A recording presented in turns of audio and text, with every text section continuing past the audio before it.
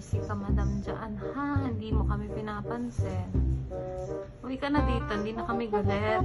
Baba ka na. Uy. Uy, baba ka na. Uy. Ano dito? Hindi na kami galit.